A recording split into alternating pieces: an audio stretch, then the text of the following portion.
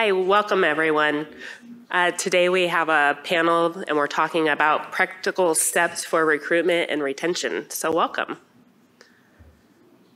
So I'm Hannah Hansen. I'm the business manager at the LIGO Lab and I'm moderating this session today. We have Lorna Campbell. She's also from LIGO. She's our HR staff relations manager. Virtually, we have Joseph Anthony Gonzales. He's the head of recruitment for Aura NSF funded centers. He'll be presenting on agile recruiting. We have Sue Brundege here at the end joining us. She's the assistant director talent management at UCAR, and she'll be presenting on staff development. And right next to me, I have Yessica Cancel. She's the chief people officer at Woods Hole, uh, presenting on retention strategies. So we're looking forward to talking to you about um, some good topics today. I'm sure many of you have struggled with recruiting and retention. We um, I know personally struggled with recruitment challenges posed by COVID, and they have started to recede in some areas, but as recruiters and hiring managers, we're facing a new normal that can be difficult to navigate. Retention is an issue for all organizations as employees are reassessing their options and trying to ensure that they're well placed, which is why some of us are seeing higher turnover. Most hiring managers are not just working on finding new talent, but they are also working aside their human resource professionals to provide the right culture and environment to retain the strong talent that we already have. So this panel, we're endeavoring to share strategies and real life examples related to the topics of recruiting and retention. So a lot of uh, what will help us is some Q&A at the end and engagement with the audience so that we can work together to answer some of your questions. And we'll get started with Lorna. Thanks, Hannah. Hi, everybody. My name is Lorna Campbell. I am the Staff Relations Manager at LIGO Lab, as Hannah said. Um, and I'm going to talk a little bit today about recruiting pipelines and some of the things we've been doing to uh, try to fill those difficult to hire positions. Um, a little bit of background information on LIGO Lab. Uh, we have about 160 FTEs across our locations. Um, those, that excludes undergrads, grad students, and postdocs. So we're talking just about, about staff members. Um, LIGO Lab has four main work locations. We have staff at Caltech campus in Pasadena. We have staff at MIT in Cambridge. And we have two observatory sites, one in Richland, Washington, and the other in Livingston, Louisiana. So we are a dispersed staff, and we, we have been since pre-COVID. Um, so I'm going to talk a bit about recruiting challenges that we've had today, and quite specifically, uh, one thing that we've done to try to address this, which is targeted internships. I'm sure that we're not alone in experiencing over the last few years that some very specific technical roles have been very, very tough to fill. This caused us to take a step back.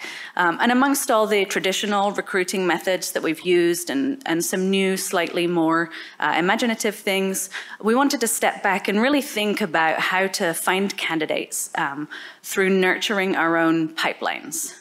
So we started thinking about the type of people that we ultimately really wanted to hire uh, and why we weren't able to find them anywhere.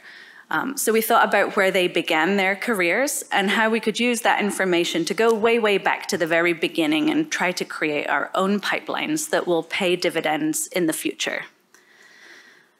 So the key things that we've learned along the way over the last couple of years um, is that it's a long game. Uh, the things that we're doing now won't pay off for many, many years in the future.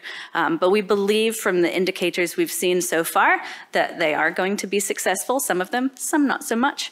Um, and so uh, the other the things we've learned are that participation breeds participation, especially when it comes to mentoring and internships, where we've been able to find mentors to take on interns to help build pipelines in their very specific technical areas.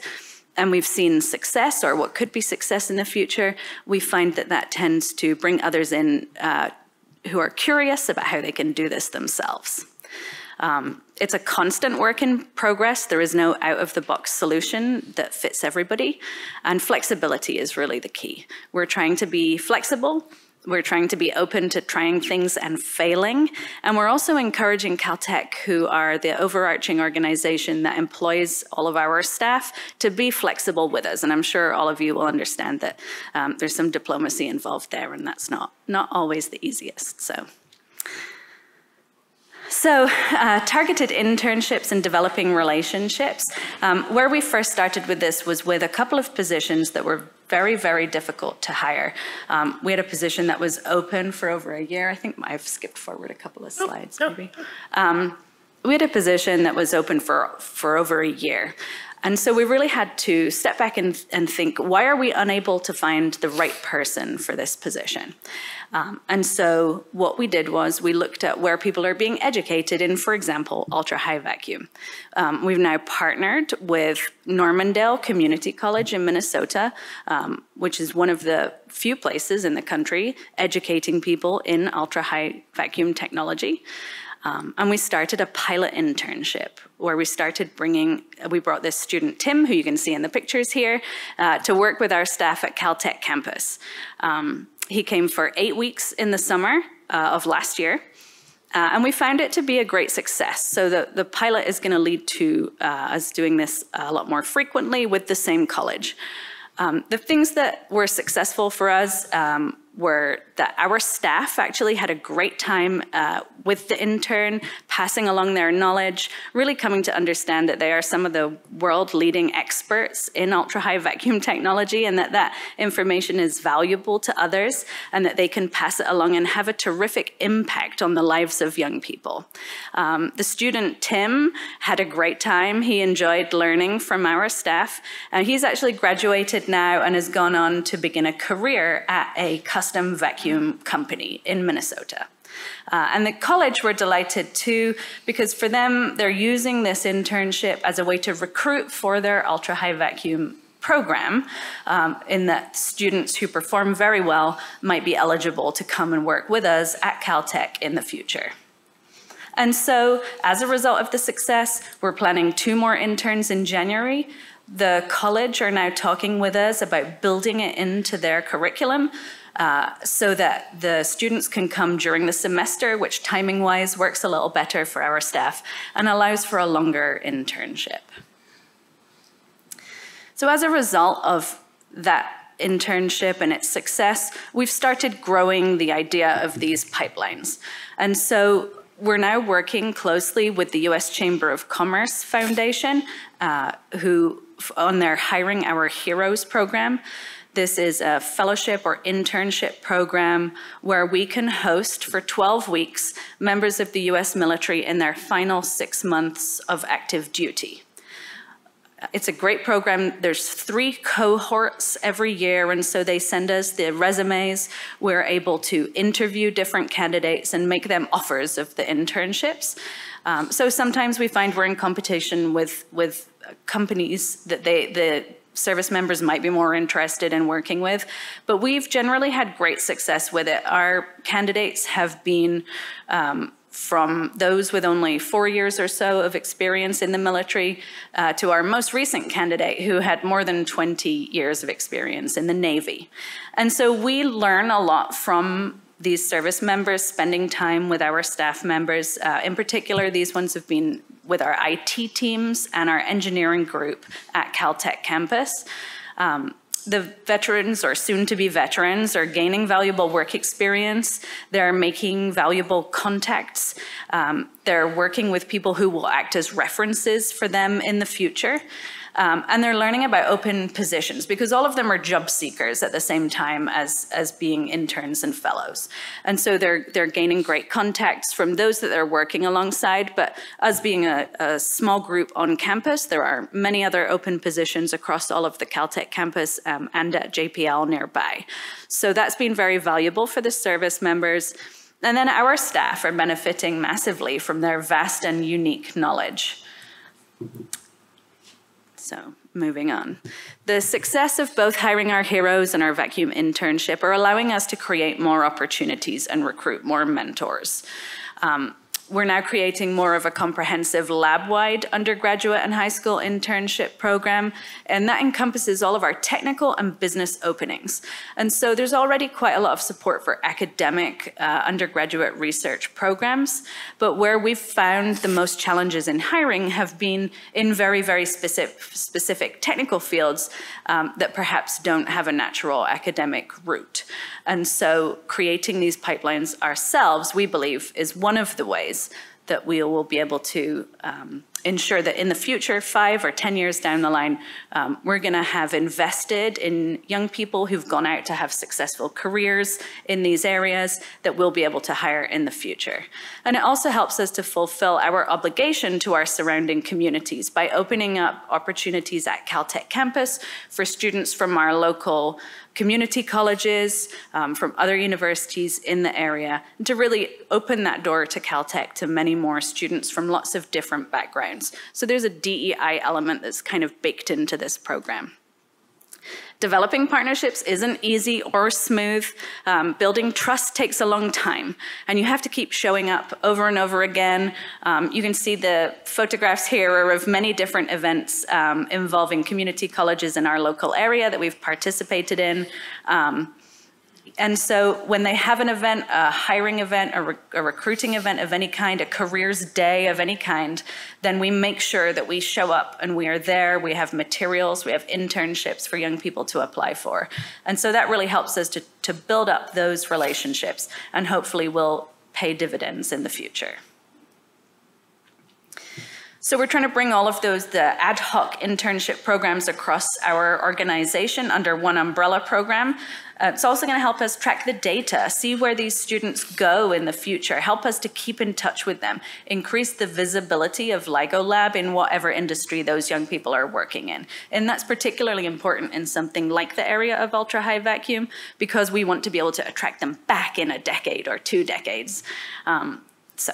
Uh, we've eliminated all volunteer positions uh, for interns, and we're making sure that every single one of them are fairly paid for their time, and also to create some equity in the way that these uh, young people are able to come to us. Um, so again, that DEI element is, is baked in. Um, and so this is just a, a, list of some of the things that we're participating in over the next year, that we're um, creating over the next year opportunities.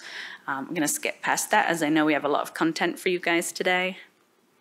So just in closing from me, um, what we're really doing here is trying to create our own future ideal employees, um, or at least contribute to their early careers.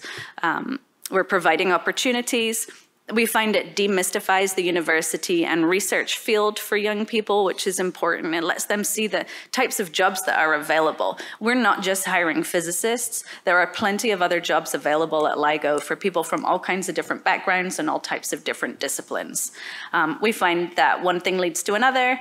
Uh, and therefore, where we have managed to get mentors to sign on and participate in this, um, their colleagues see what they're doing and want to understand how it will help them in the future um, and, the, and the value that they get from it. And so again, participation does lead to more participation, uh, but it is hard work.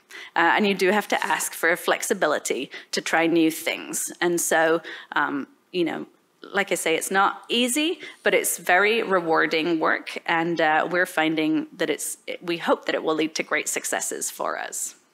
Uh, anyone who wants to, I know we're rushing through a lot of content today, and so anyone who wants to talk more to me about this kind of thing can access. Microphone or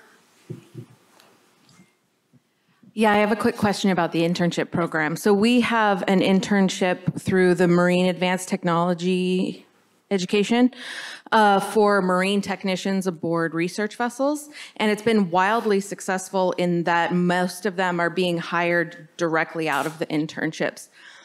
Something that has concerned me recently is we target those internships for undergraduates from landlocked universities and community colleges.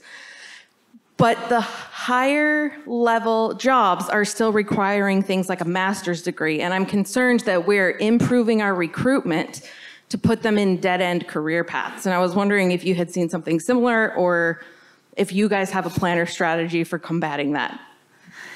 I'm not sure that we're far enough into it yet to have seen an exact replica of what you're describing. Um, I would say that we're fortunate in that uh, we are reviewing our hiring processes all the time. Um, and because we're so small, I'm doing that as well as doing this. And so there's a great advantage sometimes to being little and able to pivot. And so um, you know, we're de we definitely have a very close eye on our hiring practices, on making sure that we don't have any barriers to success for people that are unnecessary. If it if a job doesn't really require a degree, then we're we're trying to make sure that those things are not in those job descriptions. Um, and so so we're we definitely are prioritizing that. And so I, you know, um, I don't think I have any fantastic advice for you. Sorry, but. I think my only advice would be to review your hiring practices with the basic and preferred qualifications. Uh, Which is a big hurdle, I understand. yeah, it's a big hurdle. UNOLS is a very distributed facility in that there's no central governance. There's no one person that's doing the hiring. It's institutions across the United States and it's practices that are national that we're trying to, that seem to be a hurdle, in my opinion. I, I could definitely see that, yeah, Yeah, we to can get sim- everybody together. Yeah, we can sympathize with that for sure. Um, but we found on a case by case basis just challenging the hiring manager who's come up with a job description on which things really are necessary is, is helpful. And so if there is an opportunity to do that, and I know each institution has has different rules, and, and we're also um, covered by Caltech's rules for hiring. So sometimes we find some resistance to it. Um, but for the most part, when we challenge something and point out to people, this doesn't make sense, you know, why do you need this? Then people do come around, so. One more question? I have one. So, um, all right, thank you. Uh, Either for you, Lorna, or for any of the other panelists, uh, I was wondering if you could take a few minutes just to address how you approached introducing the internship program within your own staff and, and how you recruited mentors from within your staff to participate and what, how that, how that went, because that's, of course, another big It is a part of challenge. setting it all up. Yeah, nagging, I think, is the answer. um, um, yeah, you know, for us, it was, it came about quite naturally because we had this real challenge with hiring for this one specific narrow area. Um, we, you know, everybody was really open to the idea of finding new solutions to this problem, even if they weren't. You know, sometimes people would say, "I don't see how this is going to help us now," and then explaining, "Well, it's not going to help us now, but it might help us not be in this position ten years from now." You know, that really helped us to kind of organically grow this, um, and so that's really my my best advice there. And nagging. Okay, great. Do we have our virtual next speaker? Okay, great. Next, um, we're going to have Joseph Anthony. Well, let's going to get started. Um, I am part of the panel. Again, first name is Joseph Anthony, last name is Gonzales. I'm the head of recruitment for Aura, and I'm based out of Tucson, Arizona, and we'll move to the next slide. And I'll talk a little bit about kind of who I am and my team, and maybe talk just at a very high level in terms of my role at Aura and who I support uh, within the NSF funded centers. But um, Valerie Castillo Irigoya, who's not here today, is one of my team members. She is one of my senior recruiters. Uh, and I have a very small team based out of Tucson where we're both based. Um, if you look at the slide there, Valerie's uh, comes with about 15 years of experience, has been working uh, in her previous roles as a talent advisor, a brand manager, um, as well as a brand strategist for very uh, Fairygodboss, a woman-owned uh, organization. Um, and uh, a little bit about myself. Um, I've spent the last, I gosh, I shouldn't even date myself, the last 30 years um, in senior leader talent acquisition roles, either with various uh, management uh, consulting services, with Kaiser Permanente, as well as with Humana. And then going back before that, some other Fortune 50 companies, Clinipace, Bechtel Engineering, and so forth. So I've certainly have, uh, I guess, been down the runway uh, quite a bit. Um, and it's a little bit about, uh, for Val and I, we've got about probably 30 plus years of experience, and we are trying to change things up a little bit at Aura, as well as within the NSF funded centers. So I'm here to talk a little bit about how we're conducting our work today and knowing that we are still in some of the early stages of trying to gently disrupt kind of how we recruit um, within our centers and hopefully making some mild but meaningful impact um, and at the same time using every opportunity that has gone successfully as a potential win. And how can we use that to help further shape and modify how we can improve our recruiting practices?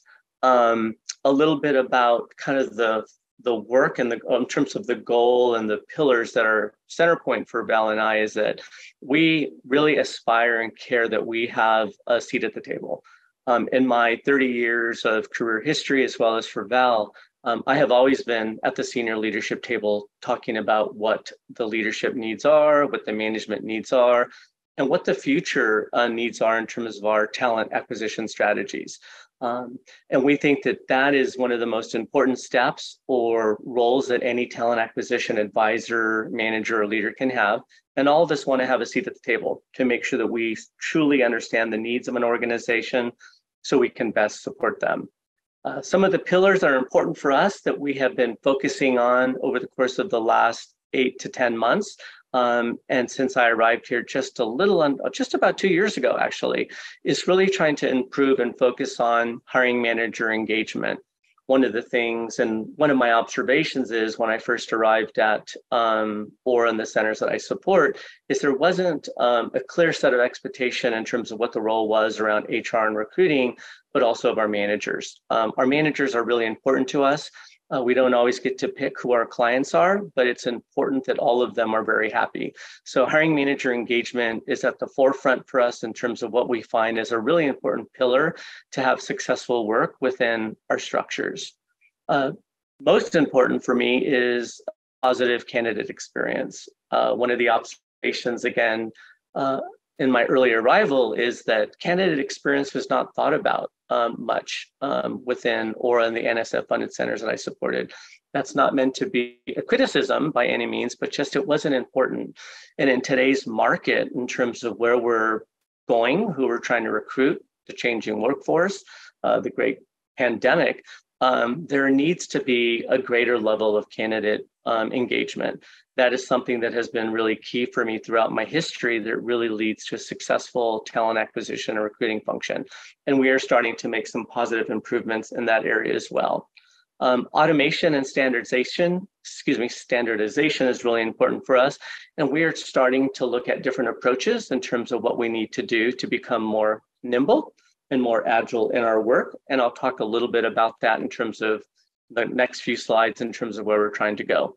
Um, any HR function, any recruiting function should really have um, a good core set of practices around selection rigor and compliance um, without being too HRE and too compliance oriented. It's still important. We need to make sure that we can clearly support the decisions that we're making and that we've clearly documented that so we can uh, feel good about our selections as we move forward.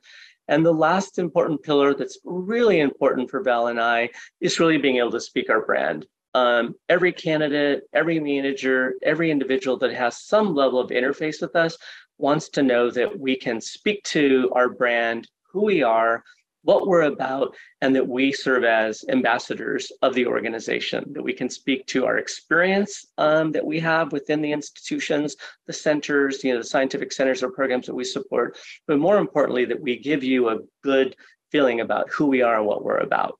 So those are things that are very, very important to us as I kind of talk about the next few slides and kind of shape of where we are wanting to go and kind of where we are today.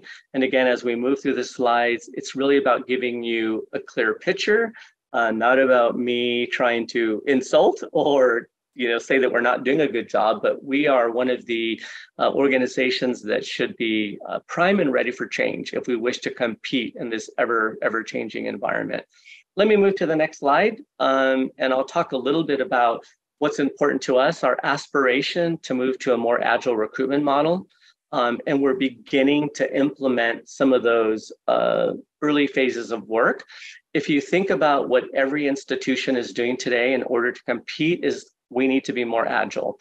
We need to have a model that is really more fluid, one that really allows us as we go through all the stages of recruitment that we're constantly um, reprioritizing, that we're constantly uh, improving processes, that we're constantly trying to do everything that we can to ensure that we can get from candidate identification to onboarding uh, an individual in our organization. So this slide kind of really speaks to the approach that we're trying to move to and some of the early changes that we've been trying to make and also maximize on previous good process that has worked and continue to refine that.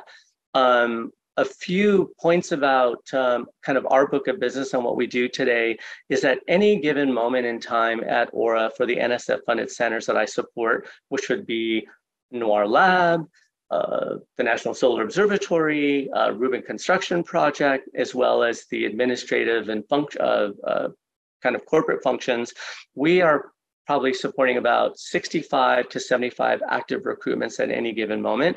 Uh, that's not a, a, big book of business, but it certainly is a complex uh, book of business for us. And what we are trying to do with those recruitments is make sure that we are treating them all the same and that we could move through the process in a really successful uh, form. Some of the steps that we're beginning to do today with all of our client base is institute kind of our biweekly team meetings with our hiring managers to speak about kind of what their needs are, what they have going on, keeping them updated on our recruitment process. And we're trying to give them kind of weekly and biweekly reports in terms of what's the status of our recruitments today?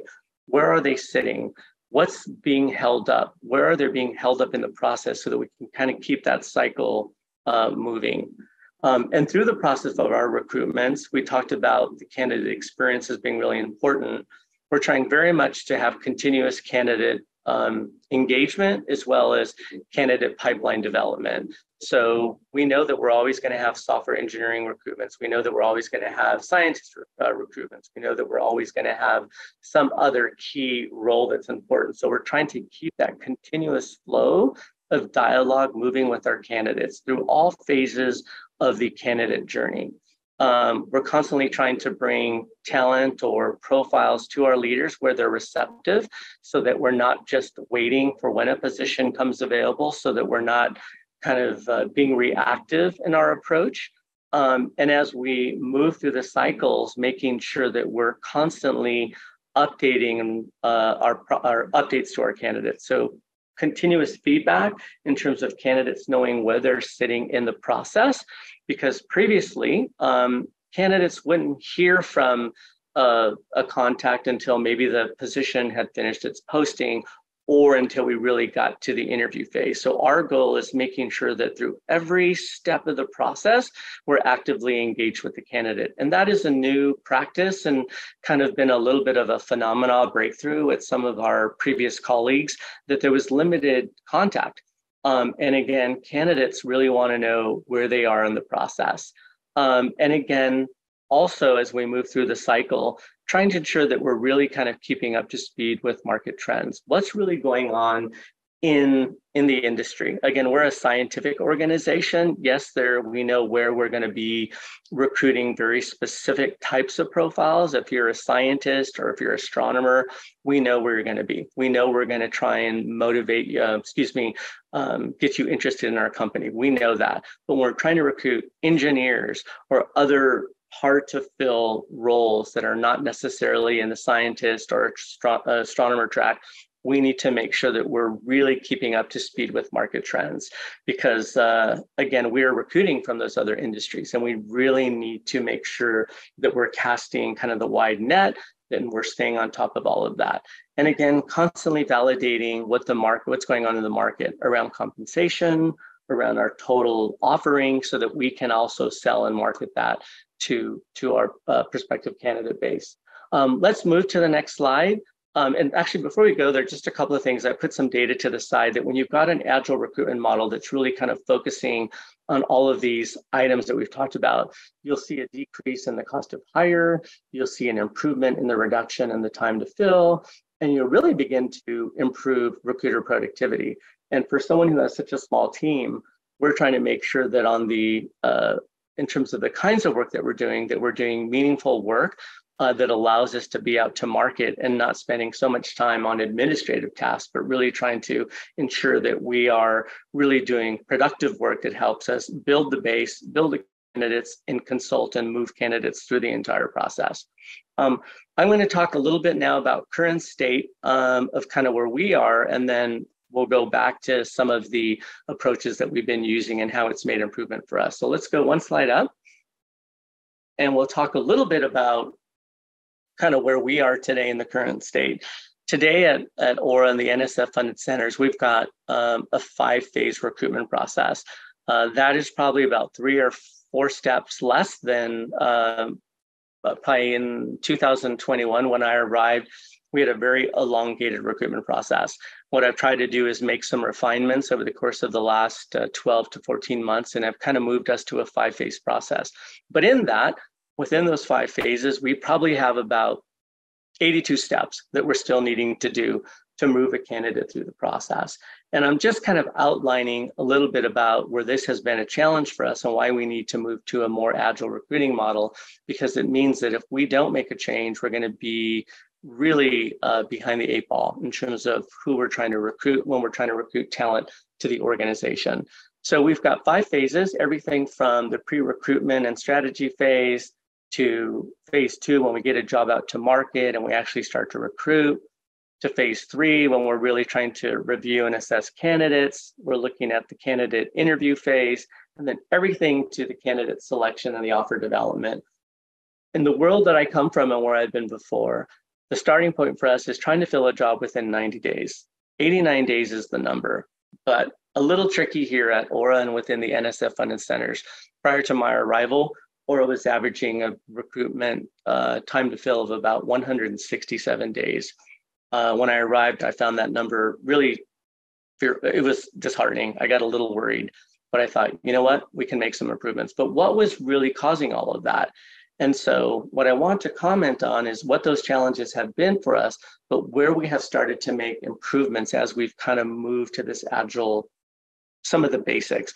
One is that sometimes there has not been alignment with our talent acquisition strategies to the business or to the scientific centers. So again, when there's lack of alignment, um, that really can prevent our ability to get out to market. Sometimes there's been a lack of investment in training and development, helping our hiring managers really be the best that they need to be to interview properly. Um, and one of the things that we're trying to do is put more steps in place to give our managers the tools that they need around proper uh, interview training. Um, also, what we've experienced is there was little to minimal communication and lack of full engagement throughout all phases of the recruiting cycle. Again, hiring managers not being engaged uh, with candidates on the front end, and then a lot of calendar challenges. Um, this is kind of where we are today, but we're starting to see improvements, and we'll talk more about that. Sometimes also an overcomplication of the down selection process and candidate evaluation scorecards. You know, too many evaluating talent um, and what I've noticed is that in selection, what we're trying to do is teach it like a science. That you know we're coming up with all of these unique approaches in terms of why we need to select a candidate. Doesn't need to be a science, but what it really needs to focus on is a robust process.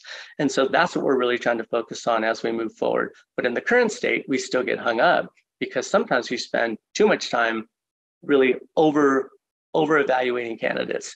Um, also, a misconception that everyone in the interview committee process is a decision maker. Um, large interview committees, sometimes consisting of seven plus interviewers.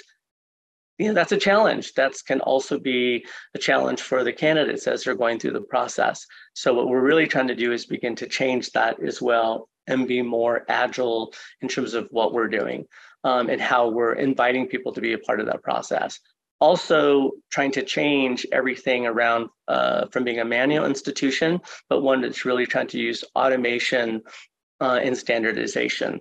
One of the uh, strategies that we've been deploying is in our recruitment team is certainly using our UKG and our uh, recruitment gateway, but also using a Jira board and really outlining recruitment through all phases of the recruitment at that 90 day marker and really making sure that we've got watchers who can see the status of a recruitment, whether you're a hiring manager uh, you're another HR colleague who's supporting a step in the process, but one that you know what's going on with the recruitment. Because if there's something that you need to contribute to the process, you can begin to support that effort so we can move everything through uh, the process. This is again about the current state, some of the things that have begun to uh, that have held us up in the past. But as we go through the next slide, I'll talk a little bit about where we've seen some improvements. Um, given, I'm sorry, Joseph, Anthony, just real Yep. quick, sorry to interrupt. We're Yep. going to run out of time because we have two more speakers and we only have 19 more minutes. Okay. Um, could you um, just move quickly through the rest Yep, of your you slides? bet. Okay, thank So as we go you. through the next slides, um, we'll give some examples of what we've done in terms of some of the agile steps that we've taken. We've got some engineering recruitments that we did either in my earlier arrival that were taking about 242 days. Um, today, uh, applying some of the agile recruitment steps that we talked about early on, we've been able to make a difference from 242 days to 45. What was success around that? Uh, engagement with the hiring manager, really owning the recruitment, clear alignment around what the role was in terms of the candidate profile, redefine, uh, redefining the uh, hiring committee selection process. So not seven members, but the essential few, and really tapping into previous pools. So sourcing candidates, going into past recruitment, and really tapping into what I call our silver medalists, people who were uh, number two and three, but they were very qualified. So that has been a success story that I think is really important. If I move to the next slide, one of the other examples that we've done has been the same around some facilities roles that we've done. Previous recruitments, 125 days.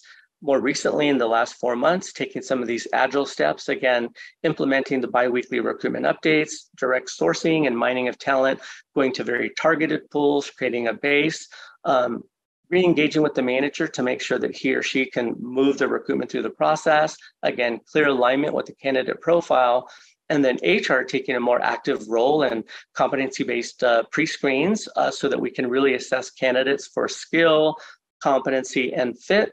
And then shortening up the hiring committee to three essential members versus six, seven, or eight. And then having a backlog of candidates, two plus, who are ready to go should the first candidate uh, not uh, decide to work uh, come work for us. So in those examples, again, we went from 125 days to 68, from 142 plus or 242 plus to 45. Those have been a couple of wins for us. As we move to the next slide, I'll finish up in 32 seconds, is for us in applying some of these agile recruitment steps. Overall, quarter to quarter, we did Q2 2023. Our average time to fill was 147 days. We just did the data last week, Q3 2023. We're doing 92 days. Um, that's amazing for us. For AURA, for the NSF funded centers, I'm so proud of my managers who've been working with us, who've been open to taking some different steps, moving things along. That is a huge win. Uh, we're on track to fill probably three or five other positions in the upcoming weeks that we think will fill in less than 60 days, less than 20 days, and less than 70 days. Not every example is that way, but if we continue to take these small wins, uh, I think by Q3 of next year in 2025, my goal is to have the time to fill at about 62 days. So that's my goal. Wow. Uh, to the right, we've done some first generation recruitment activity dashboards that really are giving our managers and my team a pulse of where we are. This is very basic, but it's starting to just represent data of what our book of business is, who's moving things through the pipeline, where are things in pre-recruitment, where are they in the res- respective phases of recruitment, and we can tell you that our goal right now is about 37% of our active book of business is in stage five. So when it's in stage five, it means we're getting close to filling the jobs. So again, small steps, baby steps, applying some principles of agile recruiting to help us get to the next steps. Um, and our goal is that as we embark in 2024 is to totally reconstruct our recruitment model and really move to a fully, fully practiced agile model and say, look what happened when we took these approaches with these seven, 10, or 11 recruitments, then what we can do when we totally reconstruct and re, um, revamp the process moving forward. So I think that's it. So sorry, I didn't mean to take too much time. Thank you. Hey. Hi, everybody. I'm Sue Brundege. I'm putting on my auctioneer hat, so strap in because this is going to go fast. um, I'm the Assistant Director of Talent Development within our, um, our Human Resources Group, and our team oversees recruiting, immigration services, training and development, um, employee relations, and HR data analytics. So lots of work to do, but I'm going to focus today on a couple of my favorite initiatives focused on staff development. Um, when we were going through this pesky little thing called the pandemic in 2020, we brought together a, a people from across the organization to develop a 10-year workforce management plan that identified where we are today, where we want to be tomorrow, and what that gap is. And so we came up with nine strategies, as you see here. And while there was a piece of of staff development in each of these strategies, managing staff performance, increasing employee mobility, and developing talent careers really expressly focuses on what we need to do to develop our staff. Um, one of the programs I'm particularly proud of is um, our leadership development continuum. So when I joined the organization five years ago, we had just reintroduced Leadership Academy, which was you know, basically the de facto supervisor training, um, and there was a little bit of a supervisor orientation. Um, but given that um, we all believe that, that great leaders result in excellent science, um, we wanted to create a leadership development program that would span the entire employee life cycle. Our talent learning development team is a mighty small one of 2.5, and so we've engaged partners across the organization uh, to build this continuum of development. So we bring students in in the summer um, for our leadership programs, and we partner with um, NCAR's um, education and early career group. And these students come in and learn things like what it means to be a leader and that there are different kinds of scientific leaders, emotional intelligence, how to give and receive feedback, kind of the basic skills that you need as you move into the workforce. Uh, similarly, our early career leadership program, um, our team would come in and train specifically on the leadership aspects, again, for people who are just embarking on their career and need to know what skills are important as they move through their career. Um, we partnered with our Office of General Counsel to develop legal fundamentals for supervisors, which basically outlines the legal and reporting responsibilities for our supervisors. I affectionately referred to it as keep UCAR out of jail training. Um, so we, and that's been very, believe it or not, very popular because the, our corporate counsel who trains is dynamic and interesting and fun. So people actually really get a lot out of that. Um, we developed the Leadership Exploration and Development Program, LEAD, for our basic supervisor training. Um, and then we also have Leadership Academy, which we elevated to more of a flagship program. It's a nominated process, so you actually have to be nominated by your supervisor and approved by the director to be able to engage in this. And it's really meant to be for people who want to greater re leadership responsibility in the organization, and it covers some higher level, more strategic uh, focus than, than the LEAD program does. We recently added um, a kind of an additional uh, benefit to folks who have been through LEAD or Leadership Academy. Uh, we have leadership circles, which are basically peer learning groups. People who have, are alumni of these programs come together and talk about their issues and challenges, share best practices, and basically support one another so they have that continuing uh, community of leaders across the organization. We've also started supervisor forums, which are for all supervisors, regardless of whether you've been through these programs. And those are for timely topics like performance evaluation or benefits, open enrollment, um, or how to manage staff in a hybrid work environment, for example. And then finally, uh, we are embarking right now on a senior leadership development program. We're hoping to launch that later this year. That's going to be for assistant and deputy directors and above, all the way up to the C-suite. And of course, focusing on those more strategic aspects. Um, as you can see, over the past couple of years, we've moved from in-person to online and then back into kind of a hybrid focus where we have some people meeting in person, some people online, um, and it's been very successful. We've had a lot of um, compliments about this program, um, but we also get a lot of constructive feedback, so we're continually refining this. And I just love this slide, so I wanted to share with it. It was adapted from a Battelle supervisor training, um, but it really does show um, how important it is to focus on not just the technical aspects, but also um, give people inter interpersonal skills, communication skills, emotional intelligence skills, and then of course, as we get higher up in the organization, we need more of that strategic focus. And so we try to meld those three components into our leadership program and shift the emphasis as we move up in the, the types of leaders that we have.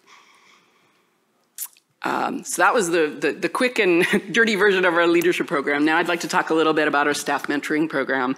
It started a couple of years ago um, as an um, kind of an outbranching of a pilot program that happened in one of our labs that one of our scientists had um, had started and, and, was very successful. And we wanted to pilot that across the organization. So we hired a part-time mentoring program lead. She comes from the Naval Academy as a faculty member and had started and ran a, um, a mentoring group for women in aviation. So she's very well qualified to, uh, to run this program. Uh, one of the things that we think uh, makes this program such a success is the rigor that she's put into this program. Um, we have a steering committee, we have um, volunteers, uh, we do some nagging too to get folks to participate. Um, we do a very robust matching process because we're looking at demographics, we're looking at where people are in the organization, where they are in their career, what they're interested in. And as a result, we've had very few mentor-mentee failures. Um, everybody is really happy. Most people are happy with their their mentors and the mentees. Um, we also provide lots of tools, a curated LinkedIn learning path that all of our staff can uh, access. Um, templates for relationship building, for how, how, you have a conversation with your mentees. So it, it not only is an opportunity for people to learn how to mentor and, and also people how to learn how to be mentored. Um, we also have a lot of communication channels for this. And um, to the extent that we can, we have an in-person celebration at the end of each cohort. So just uh, just some uh, stats on this. We've had to date in three of our cohorts 167 participants. So that's mm, you know a little bit more than 10% of our um, of our staff. Um, we did expand the cohort to nine months uh, to accommodate, you know, field campaigns and uh, summer vacation and so forth. Um, we really focused this to be a organization-wide program for all types of staff, but we're really proud that a lot of our um, scientific software engineers, their STEM staff, are, are focused on this program. Um, one of the things that is a high priority for NCAR is uh, multi uh, interdisciplinary and collaborative science and convergent science. And so as you can see by the really tiny chart that, that we do a lot of cross-pollination between our different labs and programs so people get that kind of exposure uh, across the program. Um, we've had a lot of, of, kudos on that, and, and we do a, uh, an impact uh, assessment at the end of each one. And these are some of the things that people have said. Um, one person actually managed to raise their performance rating because their mentor helped them, you know, craft and, and advocate for themselves the, the self-evaluation that helped with that. Um, another person received a promotion. Um, there's, a, there's a lot of collaboration that happens in these groups and, and new relationships are built. Um, another person joined a professional organization and we continually get um, rave reviews on this program. Some of the challenges, of course, is that we've got a part-time program director. Um, people are you know, time stretched, and um, we often have an easier time finding mentees than we do finding mentors. And so that's something that we're continually working on. But we're embarking on a, uh, a retirement revamp, um, another initiative, and we're hoping to bring in people who are either about to retire or, or who have retired to bring them back to mentor on either their subject matter expertise or what it's like to retire as a scientist or a, um, a software engineer and, and what that journey is like. So um, that's not the only thing we do. These are all of the, the other kind of in, uh, development activities that we have. Um, but I would say that our leadership development and our staff mentoring program are, um, are my favorites, and um, they've been really successful. And since I didn't get to go into a lot of detail, uh, please feel free to reach out to me if you have any questions, or I would love to exchange ideas about either leadership development or staff mentoring. And Hi, everybody. About 30 seconds per slide. Got it. Yessica Cancel, uh, Chief People Officer with the Woods Hole Oceanographic Institution. Quickly, we're about 1,200 employees. We focus on science, research, the ocean, uh, technology, and engineering. Uh, most of our employees are just as I mentioned, scientists, engineers, uh, support staff, and then also our educational component, students and postdoctoral. Um, kind of summarizing everything that you've heard today, really the, the effort in recruiting, the goal is ultimately to retain that talent. And so I'm going to lift it up about 50, 50 50,000 feet and really focus on an employee value proposition. At the end of the day, to re recruit and retain the best talent, you have to know what it is that differentiates you from from your competition. And so intentionally looking at your employee value proposition, not just the money and benefits, but what's important to people. And from that aspect, it's the, the work environment, it's the colleagues, it's all of the other things that you have to offer beyond the financial. But how do we know what matters? So we go back to research, psychology, to be uh, uh, precise. So Maslow's hierarchy in the workplace, what's important to people? Um, we know through research um, that there are basic needs, and from there, before we can truly become self-actualized, before we can implement some of these mentoring programs and leadership development programs, we have to meet basic needs. We have to create a safe environment. We have to provide those opportunities to get together, to learn from each other. And so we understand that we have to start from the bottom up so that we can and create a solid foundation. And so that drives, that's our framework. But again, how do we know that the things that we think are important really are important? And so we're implementing feedback loops in every possible place that we can think of um, to have our team members let us know what is important to them. Um, we have five generations right now um, in the workplace. The value systems of each of those generations is different. And so one size fits all fits no one. So it's important that we ask. And you have multiple opportunities throughout the entire process. We can ask candidates, and that was a, a, typo on my end, candidates that we sent an offer to and declined. Are we asking them? So why did you choose a different organization? Money is the easiest thing that someone will say but rarely is it the only thing. There's another need that wasn't met. Look through the entire employee life cycle and find out where you can sit down and get some feedback. Feedback, whether it's surveys, whether it's sitting down having a focus group.